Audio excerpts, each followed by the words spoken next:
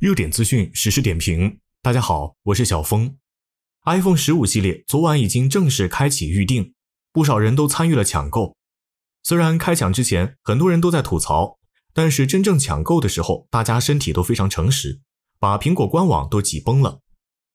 目前最抢手的 iPhone 十五 Pro Max 约一分钟内卖光，到货时间已经排到了十一月，可见热度之高。知名电商京东商城预约订购数量已逼近三百万，那边在吆喝着卖新品，另一边却摊上事儿了。法国也在这天对 iPhone 十二发布了禁售令。法国国家频率管理局十二日发布公告称，检测结果显示，苹果 iPhone 十二手机的电磁波辐射值超出欧盟标准，已要求苹果公司自当日起从法国市场暂时下架这款手机。规定每公斤脑组织吸收的电磁辐射量不能超过一定标准，这个辐射量也包括电磁波的热效应。SAR 值越大，表示对人体影响越大。据悉，认证实验室检测到 iPhone 十二的 SAR 值，人体对电磁辐射能量的吸收水平为每千克五点七四瓦，而安全标准为每千克四瓦。法国国家频谱管理署指出，对于已经售出的手机。苹果公司应尽快采取纠正措施，使其符合要求，否则就不得不将它们召回。苹果觉得不服，称 iPhone 十二已获得多个国际机构的认证，符合辐射标准。该手机品牌的网站数据显示，iPhone 十二放在耳边时的 SAR 指标为零点九八 W 每千克，放在口袋中时为零点九九 W 每千克，远低于法国测得的数字。而在法国开了先河之后。邻国们也都被惊动。第二天，德国和比利时的监管机构就表示将审查与 iPhone 十二相关的潜在健康风险。九月十五日，他们再次表示可能效仿法国的做法。意大利和西班牙在密切关注局势，随时可能采取行动。苹果公司的一位发言人十五日表示，将为法国用户发布软件更新，以使其符合法国监管机构执行的标准，并期待这款手机可以继续在法国销售。这位发言人还表示，自2020年推出以来，iPhone 12已通过认证，达到或超过了全球所有相关法规和标准。ANFR 可是花了三年才测出这个超标，那意味着我们在使用的其他苹果手机也有可能是超标的。按照法国这个机构的效率，三年后我们应该可以知道答案。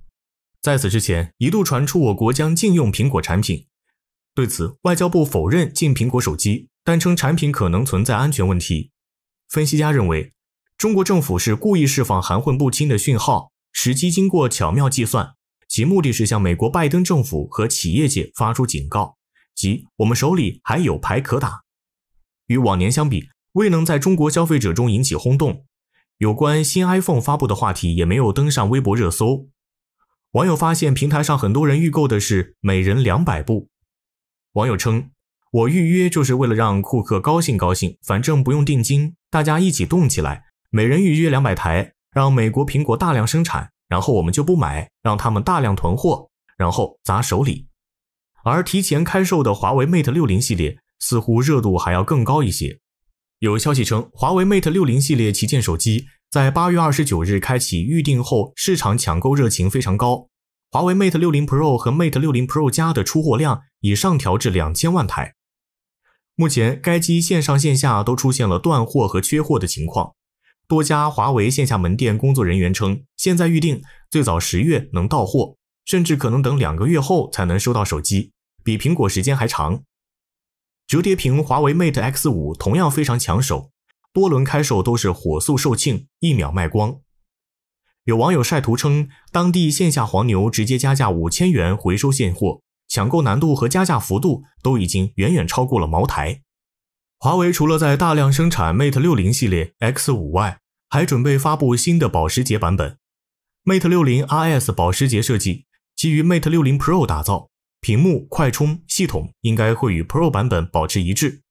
UI 主题、影像、包装会略有不同，定价可能在一万元左右。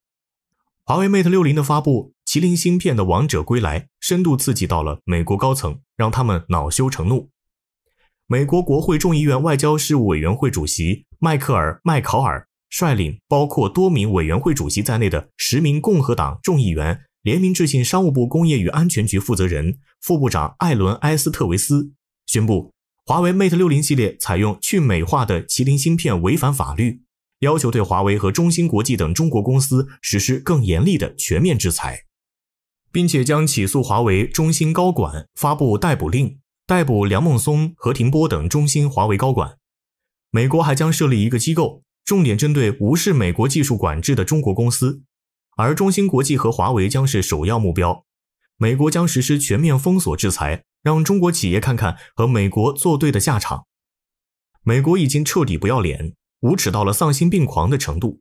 但无论美国做出任何行动，中国一定会保护在华的芯片企业专家和高管，他们是中国芯片产业链的希望。实际上，中国也已经在行动，研发出三纳米时刻机的中微。原核心技术人员杜志游、麦世义、李天笑将不再参与公司核心技术的研发，不再被视为公司的核心技术人员。而杜志游、麦世义、李天笑均为美国国籍。经过了五年的时间，美国对中国发起的芯片战争可以说进入了决战阶段。美国已经不是想要彻底重创，而是想要彻底击垮中国的芯片产业。就在刚刚，葡萄牙突然下黑手，以莫须有的罪名。完全封杀所有华为 5G 产品。欧盟明确表态，禁令是葡萄牙自己的决定，欧盟仅是提供了工具箱评估指导，根本没有可靠的证据。葡萄牙安全评估委员会安评委的一句话倒是说得很直白，因为相关企业来自不是欧盟、不是北约、不是经合组织成员的风险。葡萄牙开了一个危险的先例，如果这样指鹿为马，不排除还会有其他国家跟进，向美国献上投名状。华为也一纸诉状将葡萄牙方面告上了法庭。在回答路透社的询问时，华为这样回答：“华为葡萄牙作为在葡萄牙正式成立的公司，寻求依法保护其合法利益和合法权利。华为方面表示，希望葡萄牙法院能够纠正对其权利的多重侵犯，以及该决议对公司及其合作伙伴的重大不利影响。”在九月十五日举行的二零二三世界计算大会上。华为技术有限公司副董事长、轮值董事长徐直军在演讲中表示，尽管我们生产的芯片、服务器、PC 机相比国外的生产有差距，在徐直军看来，如果华为不去用这个差距，永远是差距，落后永远是落后。但是如果大规模去使用它，就可能拉动和推动我们整个技术的进步、产品的进步，然后慢慢追上去。徐世军指出。目前，中国的通用计算产业正在以三个生态形式向前推进，一个是 X 八六生态，一个是鹏腾生态，还有一个是 RISC-V 开源生态。三个生态在未来很长时间将会并行发展，最终看谁能够支撑我们面向未来。此外，徐志军还表示，计算芯片要构筑在实际可获得的芯片制造工艺基础上，坚定不移打造自主的计算产业生态。实现可持续发展，算力基础设施要构筑在可持续获得的计算芯片和生态基础上。中国只有彻底击败美国，获得在芯片市场的主动权，在高新技术、国防军事上的发展，才不会被美国受限。二零一四年，国家集成电路产业投资基金成立，共募资三千三百八十七亿，大力投资中芯、中微、上微、华为海思等芯片企业。中国也立下了宏伟目标，明确提出产芯片自给率要在二零二五年达到百分之七十。目前来看，中国这个目标将会提前实现。中国在高端芯片领域的去美化速度也会加快，构建高端芯片全国产业链指日可待。本期节目就到这里，感谢大家收看。如果你有一些独到的见解，欢迎在下方给我们留言。